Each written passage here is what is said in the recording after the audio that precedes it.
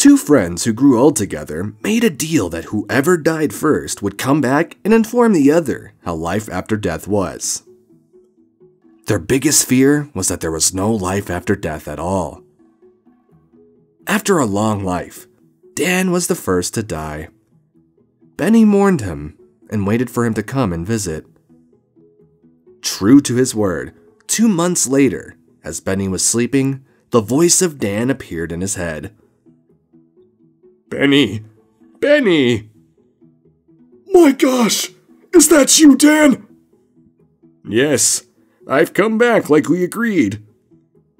Oh, that's wonderful! What's it like?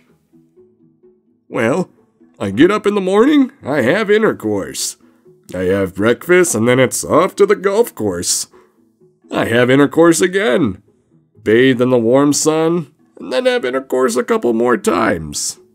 Then I have lunch. Keeping healthy, lots of greens. Another romp around the golf course, and pretty much have intercourse the rest of the afternoon. After supper, it's back to the golf course again. And it's more intercourse until late at night. I catch some much needed sleep. And then the next day it starts all over again. Wow! Dan, heaven sounds amazing! What heaven? I'm a rabbit somewhere in Arizona.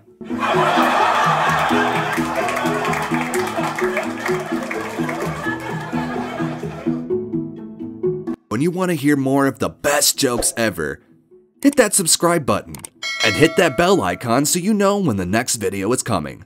And if this video brightened up your day and made you laugh, go ahead and give it a like.